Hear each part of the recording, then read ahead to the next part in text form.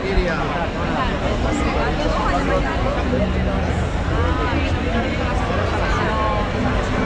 Thank you.